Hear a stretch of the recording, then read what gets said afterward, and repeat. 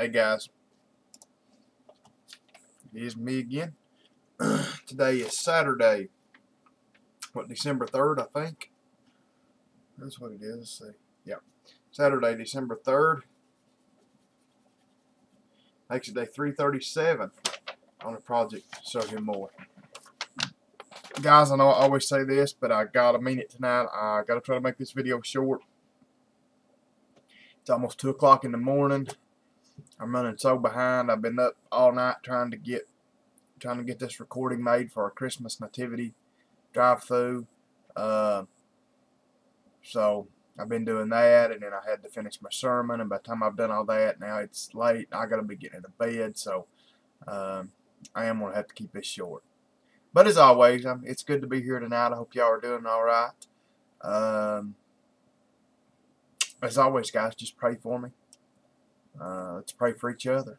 Uh, don't really have much jibber jabber to say tonight anyway. Um, not really, not that I can really think of. Uh, I didn't get to read comments or, or emails or nothing today, guys. Like I said, I've been so busy when we got home from work. Um, we've been at church working and this and that, been back and forth all day. And like I said, it's just, it's been one of them crazy days. So uh, maybe I'll try to get that stuff answered tomorrow. So let's go right into the into the important stuff tonight, guys, and that is the Word of God. Acts chapter 20, starting in verse 25. Here we go. And now behold, I know that ye all among whom I have gone preaching the kingdom of God shall see my face no more. This is, no, this, of course, Paul talking to the to the heads of the church at, at Ephesus. Wherefore I take you to record this day that I am pure from the blood of all men. For I have not shunned to declare unto you all the counsel of God. Take heed therefore unto yourselves and to all the flock over the which the Holy Ghost hath made you overseers to feed the church of God, which he hath purchased with his own blood. For I know this, that after my departing shall grievous wolves enter in among you, not sparing the flock. Also of your own selves shall men arise, speaking perverse things to draw away disciples after them. Wow, don't this sound like a lot of what's happened today, guys?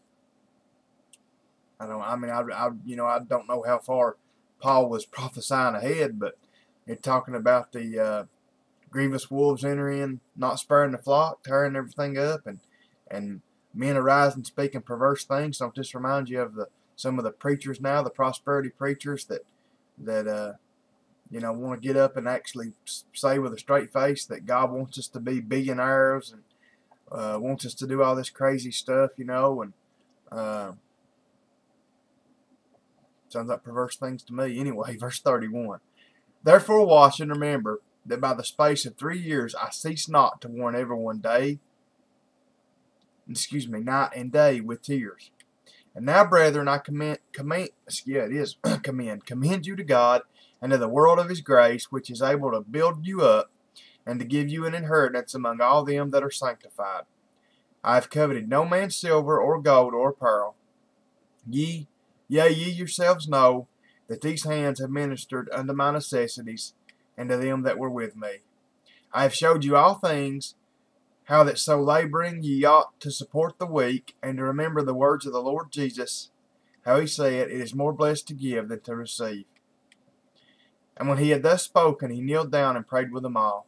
And they all wept sore, and fell on Paul's neck and kissed him, sorrowing most of all for the words which he spake, that they should see his face no more, and they accompanied him unto the ship. Wow, that's some powerful stuff, guys. I tell you that. I mean that.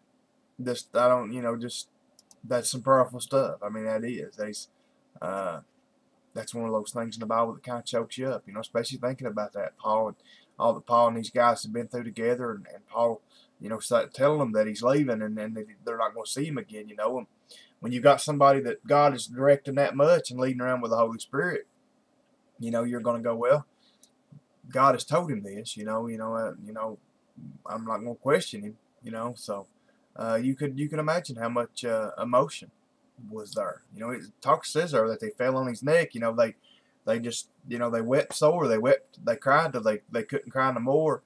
Uh, you know, and they just you know it was a it was a sad thing to see. But you know, Paul had to do what what he had to do. Had to go to uh, had to go to Jerusalem and, and do the things that the Lord wanted him to do. So anyway, guys, thanks for being here tonight. We'll continue tomorrow night, Acts chapter 21. Uh, like I said, as always, it's good to be here. Hope you guys are doing all right tonight. Um, hopefully tomorrow, guys, I'll get in a little bit earlier. Uh, so yeah, like I said, guys, uh, pray for me. Pray for church tomorrow.